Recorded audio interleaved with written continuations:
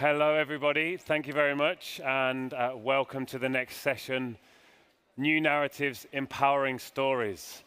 Uh, stories are life, stories are everything. We can use stories for good, we can also use stories for, well, not so good.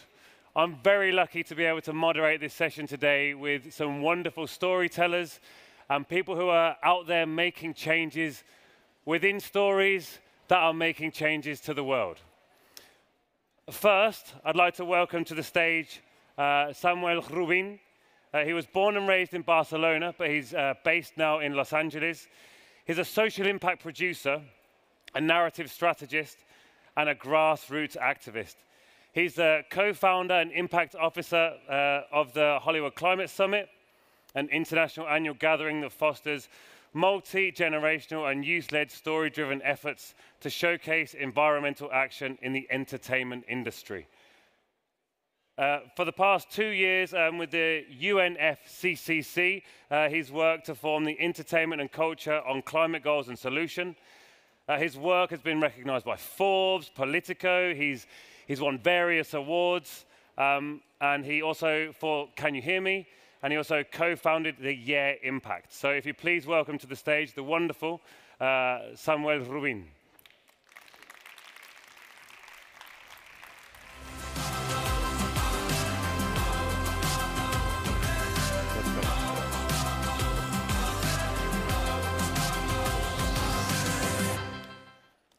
Thank you so much. Thank you for having me. I'm so grateful to be here. Amazing. So, when we talked before, we talked about a lot of different things, but the first one, um, and often the focus in Hollywood, was green production focuses on production. Yeah. so, what are some of the big steps that have been taken in, in that area in recent years? Well, hi everyone. Uh, I don't know how many of you watch films and television, but I assume it's probably the majority of you. Uh, probably in the recent years you have noticed that we have way more content. It's hard to keep up with all the amazing shows out there, and now we have like Netflix and HBO and Amazon Prime and every single possible streamer out there. And so that has an increasing environmental cost. I think before answering what steps have we taken in the recent years, it's very important to contextualize that year after year, our carbon footprint in the entertainment and culture sector is growing exponentially. Uh, if you look at the chart of 2009 and 2019, it has nothing to do with each other. And so as a response, the studios and the production companies, they know that they need to include sustainability officers in their production teams, and a lot of the studios now have sustainability chief officers and green consulting agencies that they work with to make sure that their productions are less harmful to the environment, but we still are very far away from where we need to be. Uh, there is now, uh, I, I included here a picture of different production sets, no? because there is a very uneven distribution of resources right now. Mm -hmm. If you compare how can you greenify your production in Canada or in the UK or in the US versus if you want to shoot a film uh, in anywhere in uh, India or maybe in the African region, there is not the same resources in place. And so um, this slide here actually shows you uh, uh, from the Albert, which is BAFTA's uh, sustainability consortium, they did a study uh, looking into the emissions of a tentpole film, mm -hmm. Indiana Jones, or Star Wars, or any of those big movies that we see at the box office. And one of those movies equals to 13 trips to the moon. So every time that we see Elon Musk launch one of those SpaceX rockets, add up 13 of them, and you have one big Hollywood movie. And as you all know, we don't just have one Hollywood big movie. We have a lot of big Hollywood movies, and increasingly more because the industry knows that that's how they can make the most money. Mm -hmm. So that poses the question of how do we bring that number down? And the reality is that fossil fuels transportation are the biggest uh, contributors mm -hmm. to the industry. So uh, in recent years, we've taken a lot of steps to create new calculators, new assessment methods, but we now have to figure out what is the infrastructure that we need in place in order to bring those emissions down. Amazing. Now, if we're going to empower, empower others outside of the industry, um, it's not just the production that we need to change, is it? We, we need to change the story that's being told. So, what are some of the on screen things, what the on screen areas that we can work on?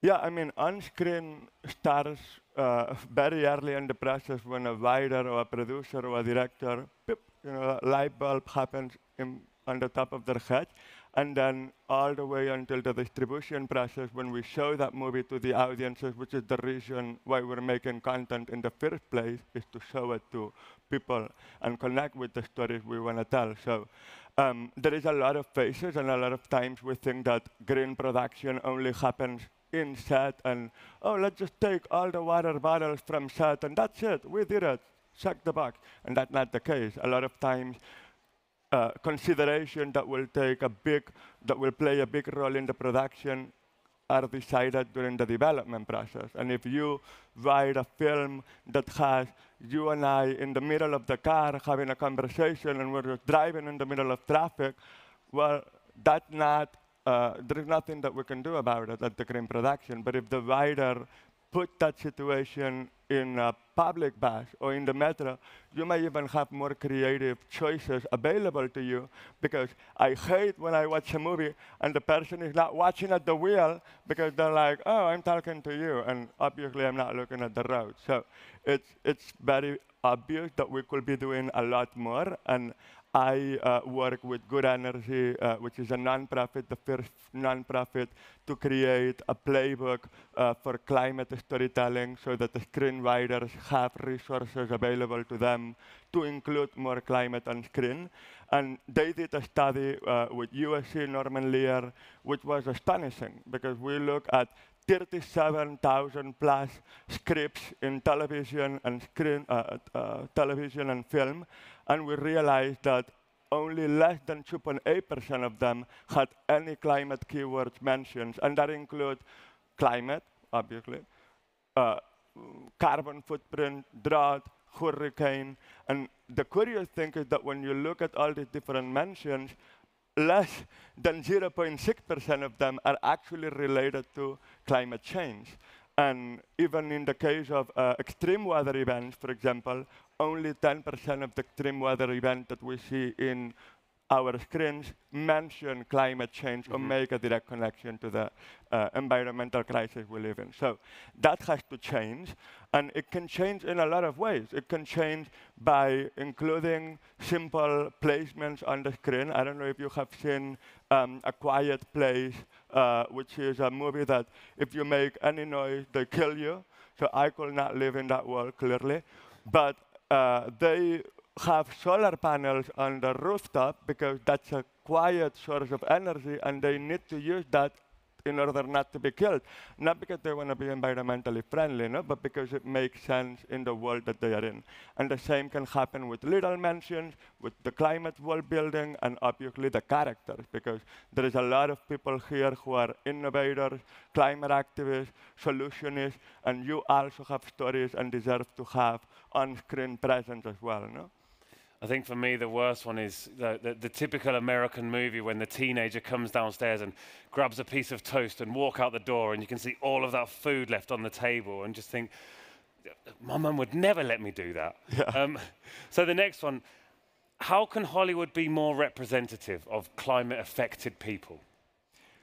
Well, that's a big question because I think that Hollywood has a lot of representation issues, not just in climate, uh, but all across the board. Uh, we probably all have seen a movie and seen someone that is supposed to be similar to ourselves and then realize, wait, that's not true. You know, that, that doesn't happen to me.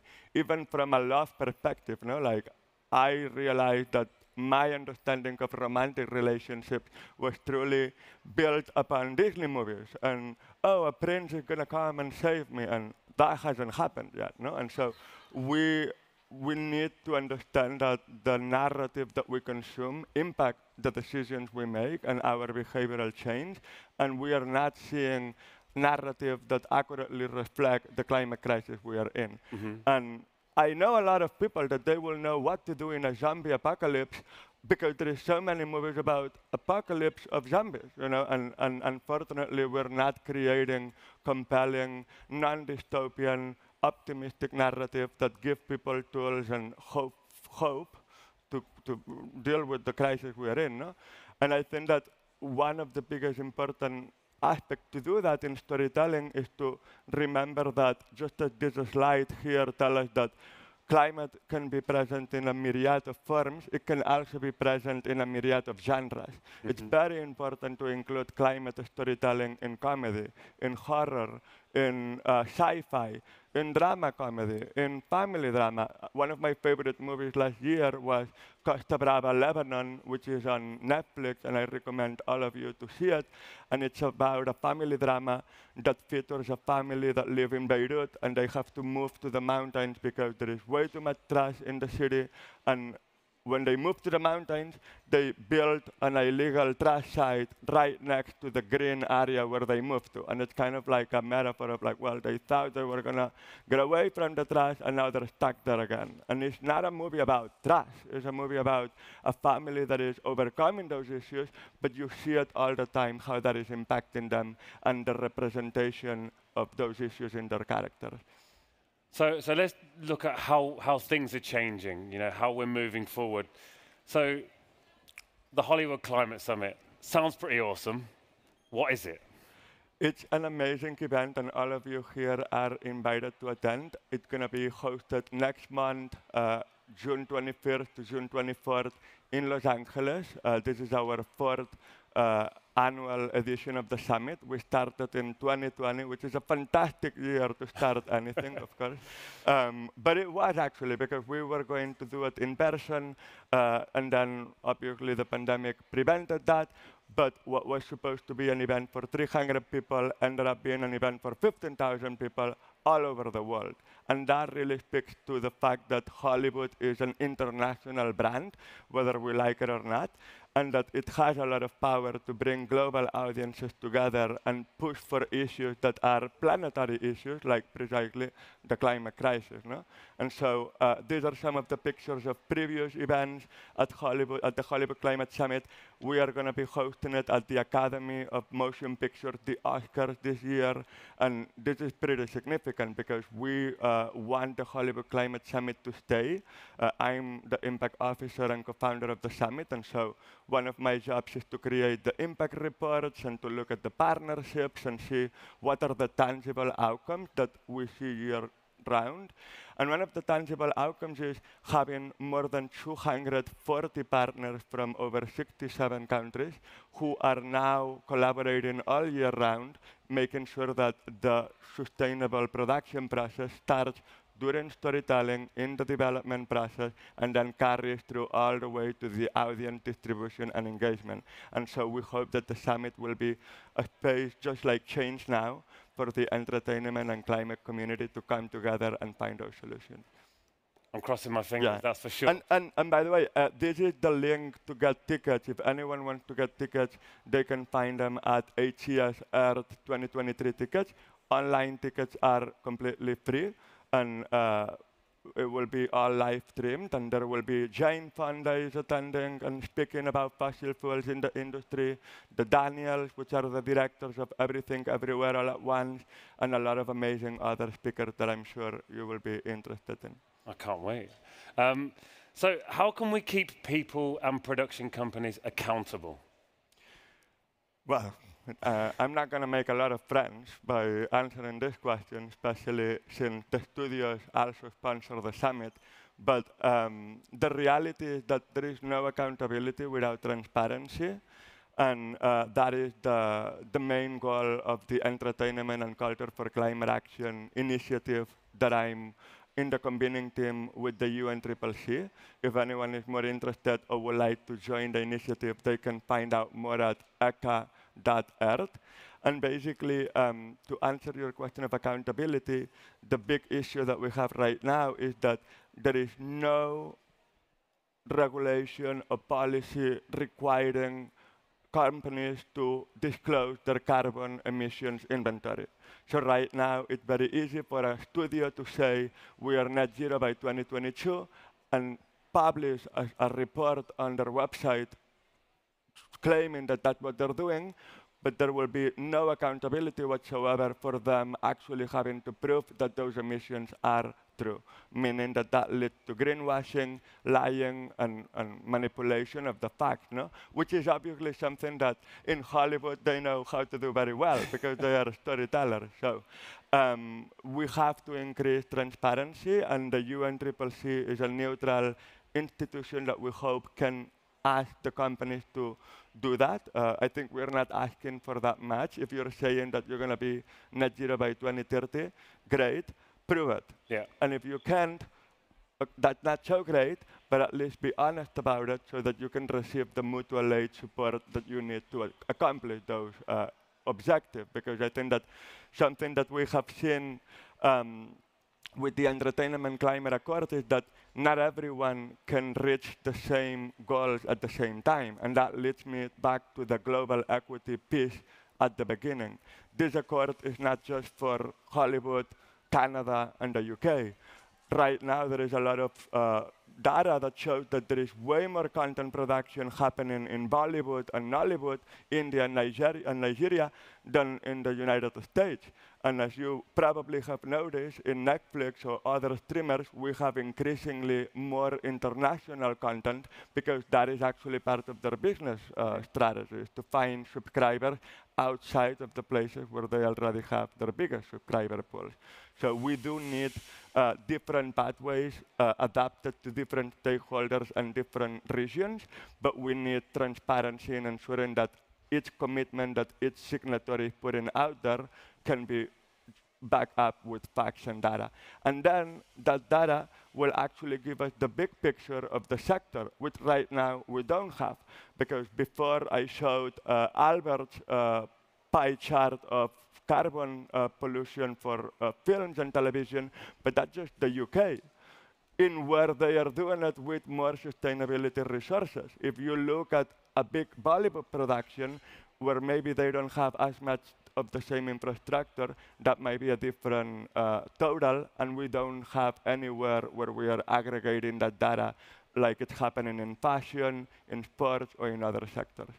Amazing. So now we've got a minute and a half for a very big question. Yeah. Um, what is the end goal, and how are you going to get so many, like such a diverse range of people to work together in this industry? But it's the same thing, no? It's like uh, we cannot expect everyone to do the same, and, and so the Accord uh, has a framework, a hybrid um, format, which means that we are going to be asking everyone to be doing uh, to be signing an acknowledgement of the direction that the industry needs to be going to, which will include various goals such as decarbonization in alignment with the Paris Agreement, uh, storytelling and more climate stories on screen, as well as a protection of the biodiversity and the natural resources where we film at. You will be surprised if you knew all the damage that has happened in natural habitats because of films. It, it, it's actually astonishing. Um, but this slide here shows how the entertainment uh, climate action is interconnected depending on the various stakeholders. If I'm a producer, which I'm a producer, by the way, I will need to uh, request a permit to film a movie.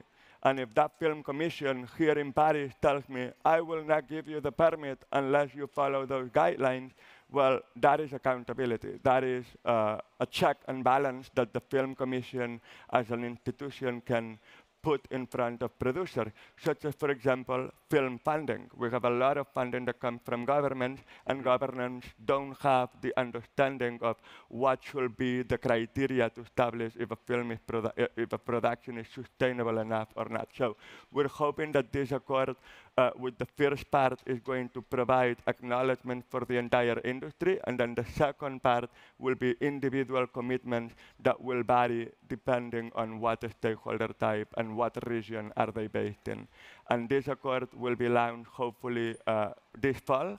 And then at COP28 this year, we're hoping to have the first ever entertainment and culture pavilion in the Blue Zone, where we can bring together the stakeholders, the industry, and keep providing resources and information, as well as collaborating with policymakers, because we know that although the stakeholders cannot be doing things on their own will, we also have to create checks and balances from a policy standpoint too. Well, amazing. And I wish you all the luck in the world. Uh, thank you so much for joining us. Um, Samuel Rubin. Thank you.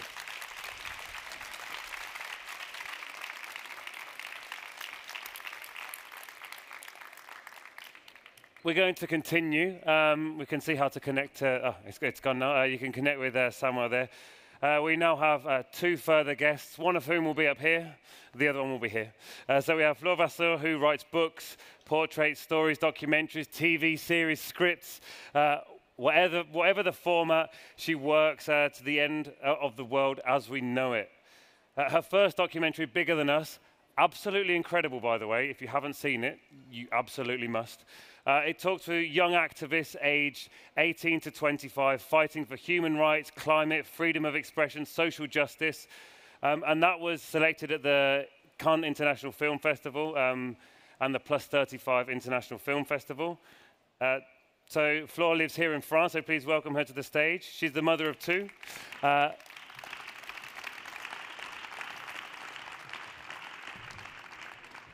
And, and much like me, I believe, Flore, um, your, your children are the main source of your, your joy and, and also your concern. Yep. And we also have uh, Sigrid, who is, should be behind us. Sigrid Dyekjaer, uh, she should be somewhere there. There we go, she is here. Woohoo! Um, now, Sigrid Woo! is a producer.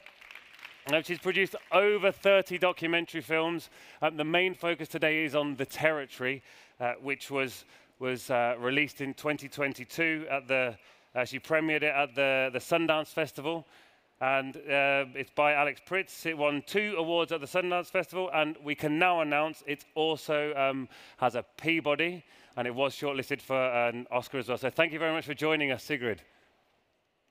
Of course. Nice to see you. I'm in Copenhagen. She's in Copenhagen at the moment. Thank you.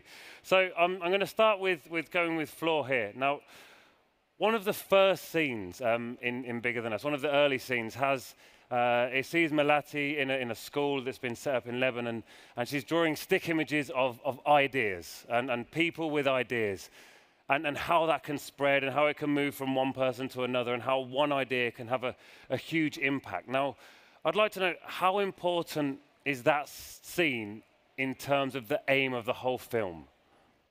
Wow, uh, thank you for remembering this scene. Um, well, I, remember well when we shot this scene, and, and it, it's, it's, it's a documentary, right? So you never ask your people to, to, to do something. It's really from Melati and her heart, and this is really, really profound to her, and this is what she does. She's always telling me, you know, it's not enough to be an activist today or to be inspired. What we have to do is to educate each other. Uh, and so it's, it, this is really, really uh, major to me.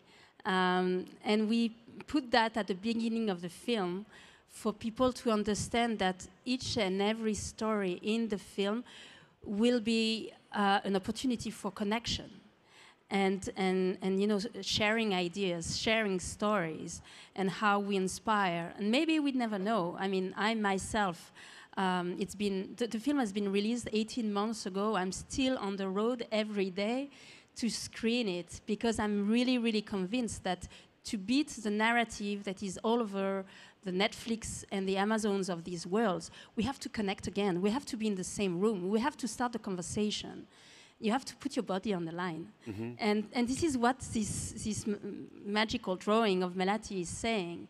We never know what we trigger, but we have to try. And, that idea of, um, of discussion is something really important with, with Sigrid and the territory. Now, I, the film made me cry on, on, more than one occasion, and, and there was one line that really stuck with me, Sigrid, and that was when, when Sergio was talking about uh, the Uru-eu-wau-wau people just living. You know, they're just living, they're not contributing anything to society. But, but it did have that opposite side of the view. It did have the, the view of the, of the land grabbers and, and so on and so forth. So I'd like to know how did you manage to, to get the so called, now I'm doing this very much in inverted commas, villains to, to speak about what they were doing?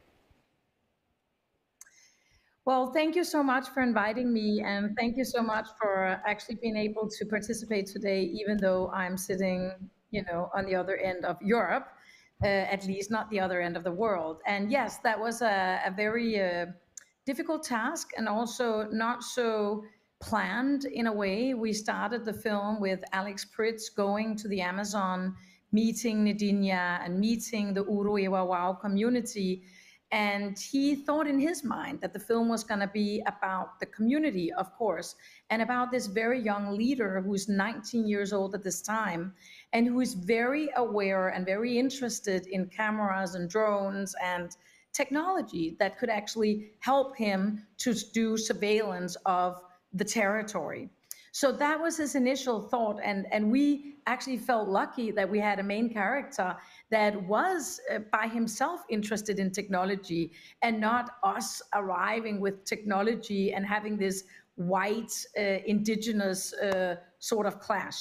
So we we fell in love with Bita because he was and is who he is, and actually he very fast said, well it's fine if you want to do a film about me and my community and the fight we're doing every day to protect this forest, which is huge. It's the size of Costa Rica. So it's like, it's huge. Um, and there are only 180 people that are protecting this area. And he actually said, you know, it's fine if you want to do a film about me and my territory and my people, but we're not the problem. The problem is the other side, and we're not actually able to speak with them. So, if you really want to make a genius movie, you should go visit the other side. And Alex was, of course, super worried, afraid he was going to get killed. He's a young American guy, and he didn't feel comfortable about it. But they said, Don't worry, you're American. They'll love you. They love America. They love everything about Western movies by the way. And they love this whole idea that land is empty until you go and you conquer it. And the American dream is actually that idea. So he went because he was initiated by the his participants and co-collaborators, the Uru-eu-wau-wau community. Oh, amazing! It's um, it's incredible that it was the suggestion of the other side to, to get involved to make sure we had that whole picture. And something I found incredible about it was you could see that they were real people who, you know, they just wanted a better life for themselves. Now, both of the films show us. And that's also what the that's also what the Uru Wow community were saying. They were like, we actually don't know what the problem is. And so if you could ask them you know, openly why they're doing this and, you know, why are they actually cutting down the rainforest?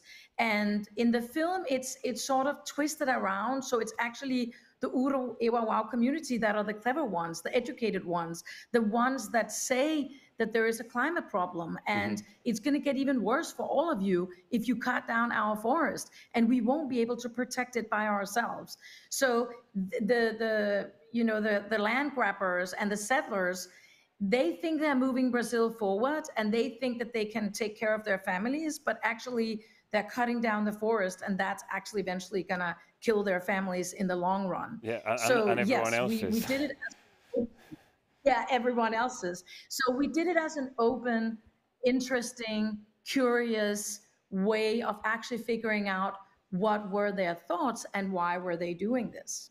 Now, now both of the films show, show us stories that, that don't only empower us watching it, they also show the, the empowerment of those people telling the stories. So I want to know, Flore, how can we, we bring this to an everyday setting?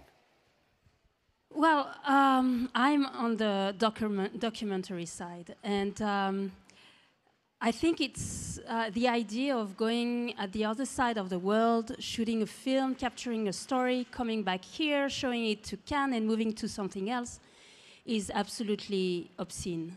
And we could not do that anymore. We have to commit to the people we are filming, we have to commit to our stories.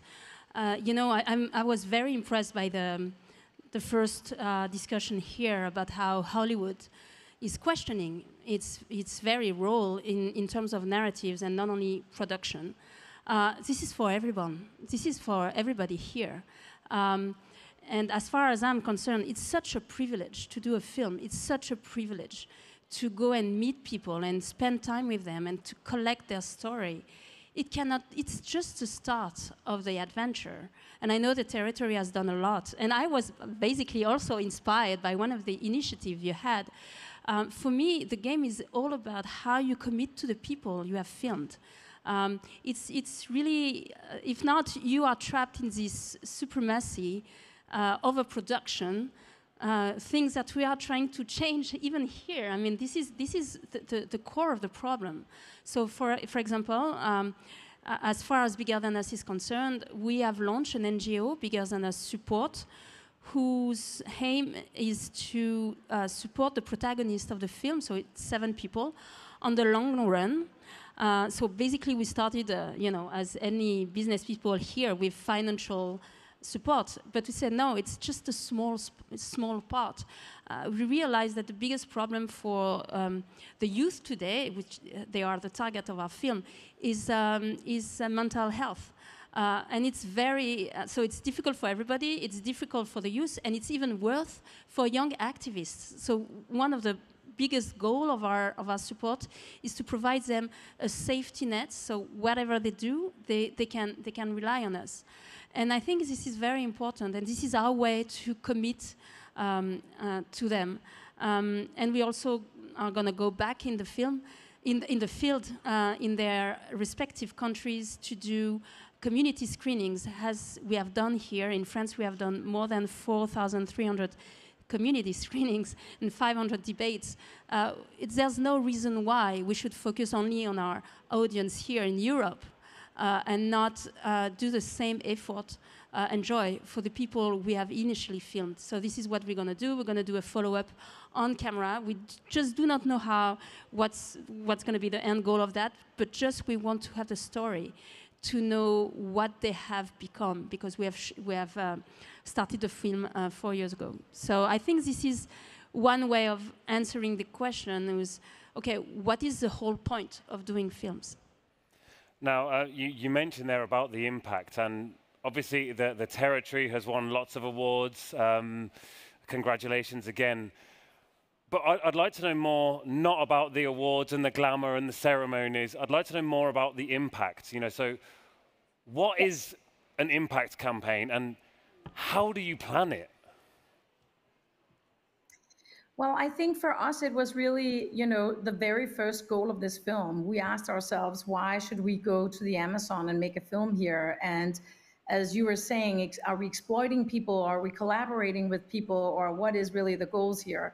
And for us, it was definitely to create an impact. And I think that is a word that's being used all over the place. Mm-hmm. And I think what I've learned for producing all these films for many, many years is it's always good to figure out what are the goals, uh, what is the impact campaign exactly, what do we want to reach, and how do we want to do it. So we actually already when we financed the film, we found partners where we said, if we go on and sell this film, are you able to the investment you've put in to actually, if you gain your investment back, will you reinvest into the impact campaign? And we were lucky to find uh, places like Luminate and Doc Society that actually reinvested the money once we've sold the film to National Geographic. So we actually had $500,000 to start our impact campaign, and that's much more than many film producers, film productions have. For us, it was not a campaign that was, you know, interested in how many eyeballs can we get on the film. That's that's mostly what producers think. Oh, we're going to have millions of people watch the film and then we're going to do change. I mean, yes, maybe, maybe not. It's great to have a lot of people watch your film, but you really need to figure out what you want to gain from all this watching the movie. And so we actually spent quite a long time to go and speak with the Uru-eu-wau-wau community, with other indigenous communities, and say, okay, in the lucky, lucky great world, we receive a lot of money for the impact campaign by the way, there are co-producers. So they made equally much money on the film as we did selling to Nat Geo. They're our collaborators, our co-producers. They have money that flushed back into their funds as soon as we sold the film. So that's one thing. But the impact campaign, which is another thing, we actually asked them, what do you want to gain from this? And they said, we have two very important goals. We want to build a media center inside the rainforest because we want to make sure we own our own narratives and that we can control this narrative and that we can film what's going on in the Amazon and we can deliver that online with internet and CNN and everybody else can show how the rainforest is, is burning, but we actually want to produce it, direct it, cut it, and we want to make the money on it because that's the problem is that they never were part of that money chain and they need money in order to get new surveillance systems cameras deteriorate very fast in the rainforest. They need cars and they need interior for this media center that we've actually were able to build. So that was the first very important goal.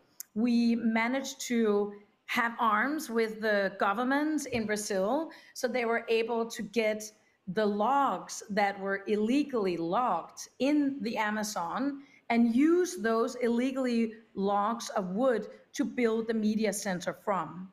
The second goal they had was we want to change laws. We want to make sure that products coming from deforested lands that they are banned and that that's a very big goal. And and we had to use a lot of energy to figure out how do we get to politicians? How do we get into the eu you know because america forget america you can't like meet any politicians. They don't do anything unless they get a tons of voters. So we were like we gotta we gotta do europe. And i'm a dane and denmark is very small. So you can very quickly get to danish politicians and the Danish politicians were crying when they watched the film and you know took that le- legislation with them and said sure we're going to go back to Brussels and we're going to change this. And showing the film in Brussels to all the politicians having our cinematographer local cinematographer from the Uru-eu-wau-wau community flown in doing a big speech at the, the EU Parliament uh, in Brussels right before the voting was going to happen. That just made sure that the law was voted in for and it's going to be implemented in Europe next year. And it's going to ban products coming from all deforested lands. So, not only in Brazil, also in Indonesia, in Africa, uh, Malaysia. And it's, of course, coffee and it's soy, it's wood, it's uh, palm oil. Uh, and it's, of course, meat. Meat is the biggest sinner in all this climate storytelling universe. So I would say that that we managed. Uh, and then the third thing was, of course, to have our indigenous community meet as many indigenous communities on the planet so that they didn't feel lonely. So, you know, when you are with Nat Geo and Disney, you get a huge Oscar campaign, and I'm not going to say the numbers here, but they are huge. And they would normally send out the filmmaker, the producers, all around the world to promote the film. We said from the beginning, we don't want that. You are going to send the indigenous community out. They need to meet other indigenous, and they need to feel that they're not alone in this world because mm-hmm. most biodiverse uh, land on this planet is guarded by indigenous communities and they need to feel that they are together and that they know about each other and that they do this fight together and that we all actually help them. If we protect indigenous we're going to eh, protect land. And that's that's how the ecosystem actually works fastest quickest and most sustainable so we actually spend a ton of the money from the Oscar campaign sending our indigenous community to Australia, to New Zealand, to South America, to South Africa, you know, Greenland, wherever we could get them mm-hmm. out meeting other indigenous, that was the, the goal. So yes, we actually ended up raising $500,000. We could still need 200,000 because we want to build an educational program for the media center where we have filmmakers maybe like you, uh, coming to uh, the Indigenous Media Center, sharing your stories, sharing your vision, getting to know their knowledge and how they actually work, because they are very, very clever filmmakers. They're not less clever than anybody else. So it's the sharing and the dialogue that we really want to make sure is happening. And we found an indigenous impact producer in Brazil. He's gay. Everything is amazing, and uh, and he's really clever. And we want to be able to hire him for two years to keep running this educational program, where we're also going to show the territory to both land grabbers and indigenous at the same time to sort of hold a dialogue between them, which is dangerous and difficult, but we really want to make sure that that's that's happening. Well, exactly. So I could give you a lot of quotes and you know numbers, but we, we've seen we've had the film out in multiple countries and territories, so we're doing good in that sense. But Amazing. we really wanted to have a great impact campaign. and that, that dialogue is so important. And so I'm, I'm going to go to Flore now. I'm, I'm wary of the time. Um, last week, you were in Cannes again. Um, what were you doing there? Well, th- it was um, it's um, an initiative, a collective initiative from the from the uh, entertainment industry here in France, where uh, it started at the uh, in January. Uh, uh, Jérémy Régnier, with a big French uh, actor, called eight of us, saying we cannot go along like this. We have to do something, and we met at the CNC, and this is a big difference with the uh, what the, the, the Hollywood Climate Initiative was. Is in France we have this big purveyor of subsidies for for the movie industry, and if you do not obey what they are, what the, their criteria, you cannot have the money from from uh, from the state. And in France, uh, the movie industry is highly uh, subsidized. Um, so they have a good, they have a great power to, you know, force any professional in the industry to follow some rules.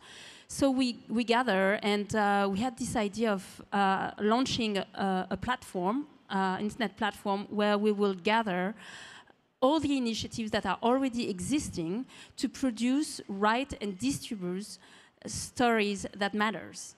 Um, and uh, not only, well, we, we have started this uh, internet uh, platform, but we are launching working groups because this is just the beginning.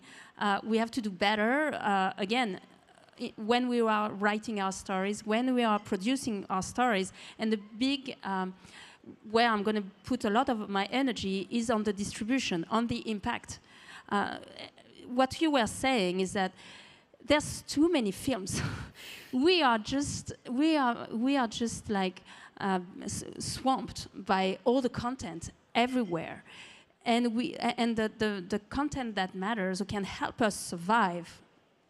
Here, I think I can say that the, the content that can help us survive is diluted. You have to really, really uh, spend time looking for it um, because there's no money for it. Nobody believes in it because it's not going to make a lot of money. So when you do this kind of film, you have to have another agenda, but you have to have partners that believe in your agendas. And for the moment, the industry is really, really money driven. It's like any industry. So where do you find the protection?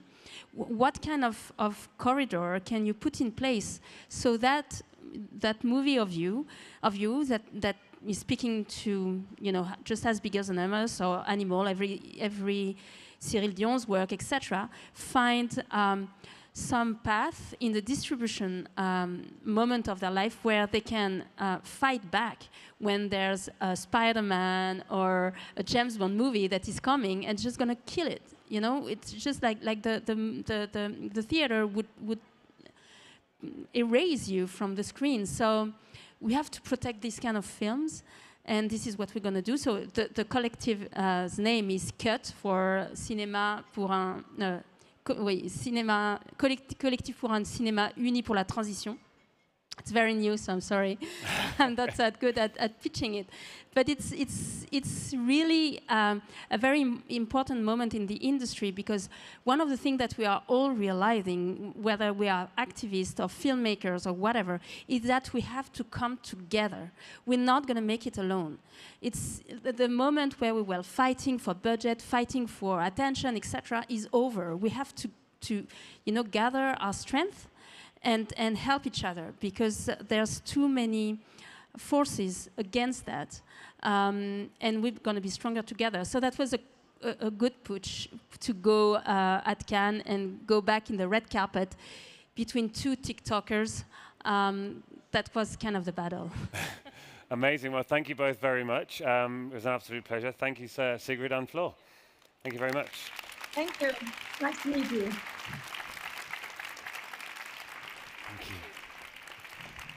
Okay, so next up we have two wonderful uh, young people. We have Bella Lack and uh. Now I apologize now, Vipulan, with the surname. It's uh, Puvaneswaran. I got a nod, so it was good, it was good. Oh, careful with the steps. Um, so, so Bella has been campaigning for a very, very long time. They're, they're both the stars of the animal film, as um, just mentioned. Uh, she's done TEDx talks uh, in 2019. Last year, she published a book.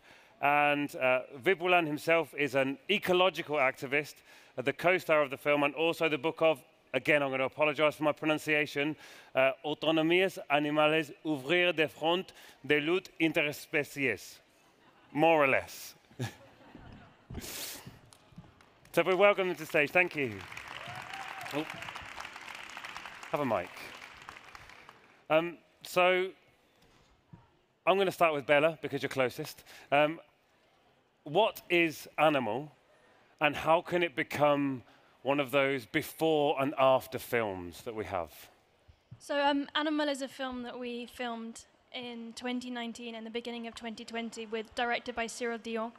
Um, and it's essentially me and Vipulan going on a mission to meet economists and politicians, activists, farmers, and they all have solutions to what's called the sixth mass extinction, which is basically the mass devastation of life on Earth. Um, and your question about before and after is an interesting one because I think often within environmentalism we see actions uh, independently. And what we need to start doing is seeing, seeing those actions within an ecosystem. Because, for example, Cyril's first film, Demain, at the beginning, it was, sorry to Cyril, it just wasn't a success for the first bit. And then now, if you look at lots of films which have been predecessors of that film, they have uh, followed the model of being solution based, being futuristic, um, being positive. And so the impact is huge and vast, but based on the first the first sort of measure of success, it's hard to say it was a success at the beginning. And in, in 2015, there was um, a case called the Juliana versus US case by 21 youth plaintiffs, basically putting in this lawsuit against suing the US government for its inaction on climate change, and the case failed. But as a response to that, there have been cases all over the world of young people doing the same and having being successful in suing their governments. So I think we kind of need to see actions as um, within an ecosystem, and then in hindsight, maybe in 20, 30 years, we can look back and say, look how far we've come, look how little we're deforestation, how low our emissions are now. Um, Amazing. Now, I'm going to ask you, Vipulan, what is animal autonomy? Uh, that's a huge question, and so yeah, it was more about the book that I wrote with some two of my friends, and what we tried to to say with that expression is that um, we need not only to take humans' opinion, but also to take into account the the agentivity of other animals, uh, and that we, we we should try to make society, with in by taking into account other animals' uh, forms of expression that are not easy to understand, but we should do, try to do that. And one of our main proposition about uh, the the stories maybe is that we should not only have movies and books and stuff like that, but that we should also create what we call a material culture. It means that we should have representations, but we should also have like new practices and uh, put put in place those practices in events and stuff like that, and that we should, and that it has a huge impact on creating representa- on creating representations. We just we don't need only stories, but also like other practices. And, and I'd also like to, to continue with you, Vipulan. Can you see any connections to the rapid loss of biodiversity and other crises that we're living through at the moment? Yeah, completely. Uh, I, I I think that I mean, as lots of people and as have demonstrated today, um, lots of scientists and so on, the ecological crisis that we face today is because of an economic and a political system. The economic system is the capitalism, basically, because uh, we focus on just doing more and more profit, and that uh, we all our um, our society is focused on a concept which is called the economic value. I mean, today, you, me, all the people here, a tree, an animal, everything is economic is an economic value, and then maybe it could become a, a merchandise. A merchandise. I don't know if it's the good word in English. Merchandise? Yeah. Yep. Uh, so yeah, i um, it's the Marxist theory of, of the value that everything is be- is becoming value. So if we want to create an ecological society, we have to think without this concept of economical value, but more about interdependence, interdependencies, sorry, and about uh, freedom, equality, and so on. So we've, we've talked a bit about, you know, the, sig- the sixth great mass extinction and, and capitalism and some things that aren't exactly great. So, so Bella, what positive changes can you see happening in the world right now? So political, institutional, that kind of thing. I think what is really great for us to remember is that all around the world there are little fragments of the future playing out and people creating a new world that we can live in.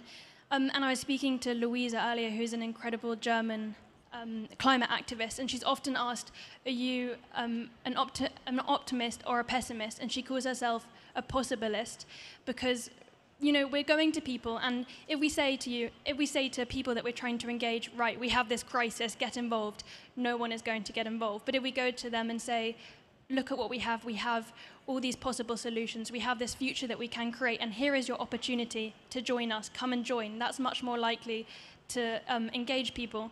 And an example is like in costa rica which we um, investigated for animal. Um, they've in 1998 they implemented a scheme called the PES scheme, and basically they take money out of a carbon tax and they put it into reforestation. They reforested over 50% now. Um, their happiness rate has increased. They're one of the happiest countries in the world, and you know there are countries around the world who are doing incredible things. There are individuals who who are implementing incredible solutions, and at the same time there are massive systems, corporations who are wrecking the planet. So we're kind of living in a very weird liminal period where it could go either way, and where what we have to do is find these individuals, these governments, these companies who are doing their best, harness everything that they're doing, and imagine this better world, and then use those solutions, uplift them, amplify them. Now, I often think that people's treatment of animals is like a direct reflection of how we treat each other. So I was wondering, uh, Vipulan, how can we help people see this so we can move on to live in a world that's, that's free of oppression for, for all living beings? That's a huge question, and I think that I don't have the, the exact answer, but um, we've talked about stories, and yeah, I think that we should use like all the means that we have. Education is a strong, is a strong thing in which we have to to involve, uh, because today in education we don't talk about that, and we focus on economic value, as I said just before. I mean, at least in the major part of education in the world. Uh, and yeah, and we we should try to to to think the ecological fights in link with the the workers who work in the in for example in the coal factories, in in the petrol factories, um, in the slaughterhouses, and those kinds of things, because people uh, who who work in those kinds of sectors are also exploited by the by the system which is destroying also the, the biodiversity and the living li- the living life in in the in his role possibilities. It, it's a, a great that that reflects quite well back to the the territory, the film we were talking about before, where you see the land grabbers, but you can see the the influence that's come from above them, and and so one of the reasons that that they are doing it. Now, the next question is one that is very personal to me. Now, my daughter, she's nine. Um, actually, Belly, you're one of one of her top five activists. She mentioned to me today.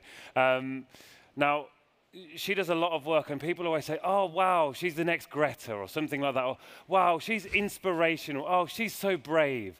And often, you know, young activists are that kind of, okay, you're brave and inspirational, so you go do your talk, and then we'll all feel great, and then we'll move on. So I want to know how can we move on from, from young activists just being brave and inspirational? And how can we ensure that the ideas of younger generations are being taken seriously? I, it's just a really weird time where up until now in history, throughout history, um, you know, even as primates, the adults have been disciplining the kids, and we're suddenly at a time where it's like the adults are waiting to be disciplined by the kids, right? And they're I've had like politicians, people in organizations I've worked with who are sitting there and saying, okay, this is going to be a youth space. I'm going to sit back and we'll let you, young activists, do it. And I'm kind of sitting there thinking, like you've, you've set up this organization, you've built it up, and now you're here asking us just to take it over. Um, and I think what we need is more intergener- intergenerational spaces. And today, ChangeNOW is a really, really good example because there hasn't been this division of I've been to one youth meeting. Apart from that, though, there's been intergenerational panels, and there hasn't it hasn't felt patronising in the way that um, people are sitting back and watching uh, youth spaces, I guess. So I think what we need is engagement at every level, and I hope one of the big things is I hope this COP will be better because at uh, COP 26, they had invited young people, many young activists, who were then made to sit outside and watch the proceedings on their computer. So it's a bit like if you're going to invite young people, don't make it tokenistic, make it deep engagement. And maybe about that. Uh,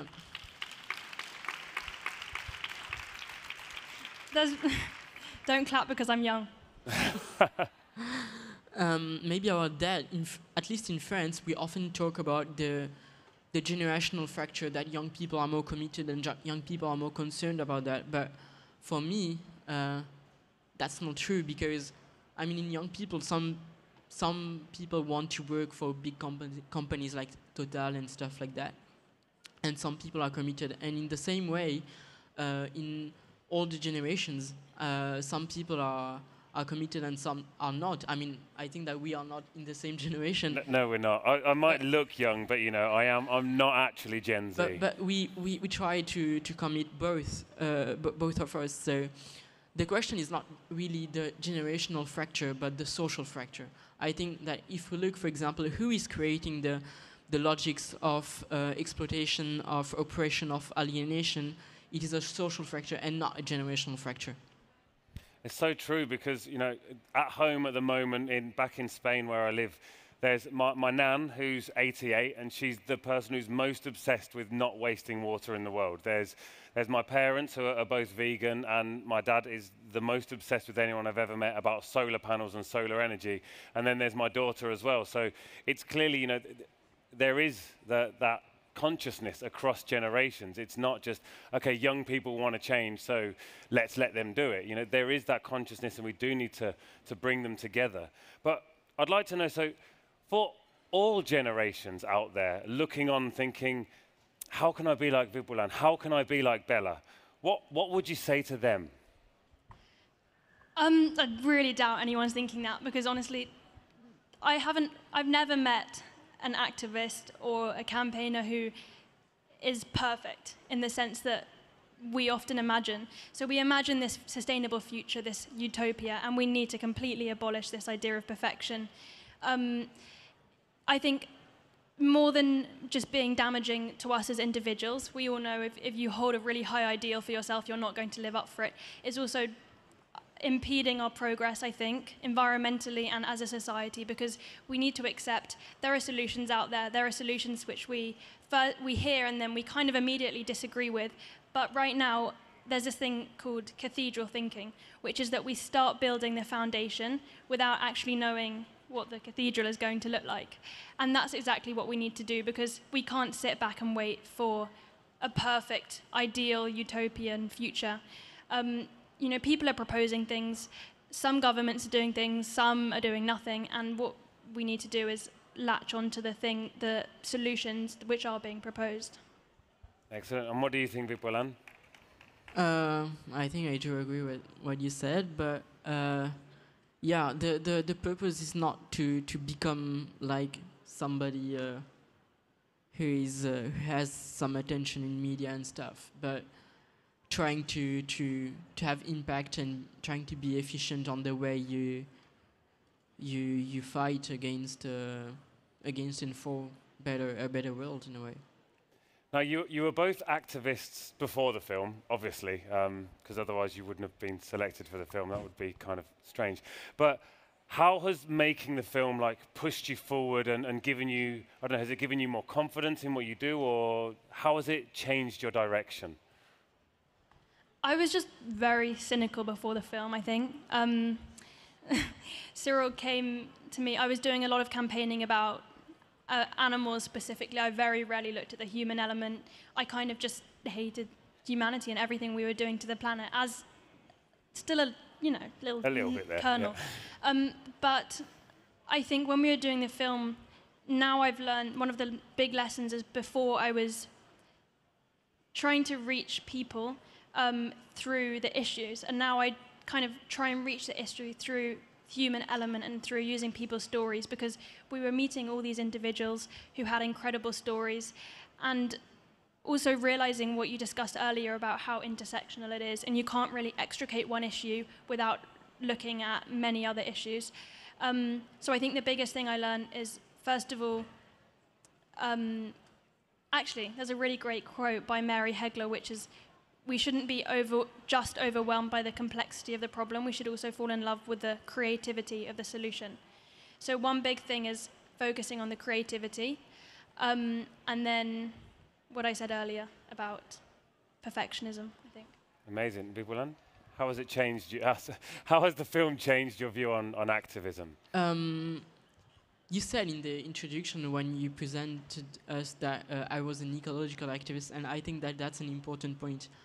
Uh, for me, um, I would say that in a way both of us uh, moved from an environmental perspective to an ecological perspective.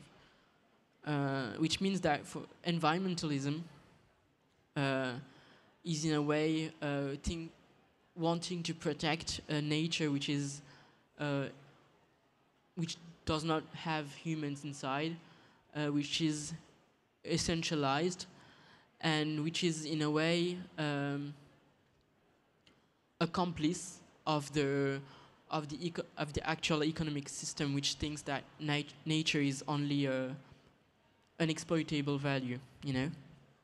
And in a way, uh, in the idea of environmentalism, we also have sometimes the idea of uh, fighting against climate change and fighting against the biodiversity loss is um, more, maybe it's more important than other fights.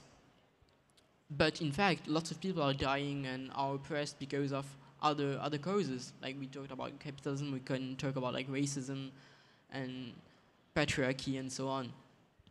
And the thing is that uh, I don't think that environmentalism is a um, is a way of thinking that uh, that tries to, to to to think the world with just with real justice.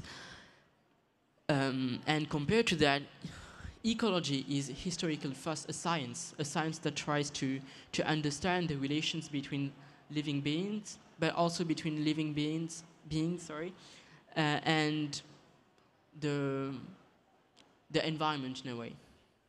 So ecology as a fight is a fight to um, rethink in a way and also act other, other forms of relations that are liberating, uh, both towards uh, non-humans but also humans. So, one final kind of question now. Watching the film, I, I took an awful lot away from it, and I felt a huge amount of positivity um, after, you know, after it finished. I was just like, yeah, there are solutions. There are things that we can work for.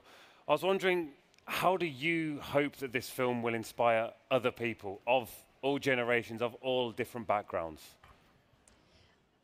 I really think that um, most people are fundamentally quite good. And um, I think the problem is that we're all, we sort of kind of believe in the story that our government tells us. And um, it happened in America, what Donald Trump told a story, hate the man, but told a good story about make America great again. And humans believe in the restoration story. And what we need to do, I hope people take from the film, is that we can each create a different narrative, a different type of restoration, um, which is what I talked about earlier. So we're going to go to people and give them not a crisis, but an opportunity. And we are living in a crisis, um, but it can also be turned on its head and used as a chance to create a much better world, a much more amicable society where we're more compassionate, where kids can play in the street because there aren't as many cars, where we have stronger communities, less air pollution, more biodiversity in cities. Um, and I think that's something really beautiful to look forward to. And all of the people that we met in the film yes, they were overwhelmed, they had had moments of burnout, but they also, they kind of had this big belief in this vision and in this future. And I just, if anything, hope that people take away from the film um, that sense of vision and possibility that we're kind of treading on, but we need to just grasp and follow, chase. Yeah. I don't think I have. I don't think that ha I have something to add to it. Nothing, nothing to add there. Amazing. Um, well, thank you both very much. You are not only inspirational and brave, you're much more than that. Um, so thank you so much for coming along today um, and sharing your ideas with us. Thank you so much. Thank you.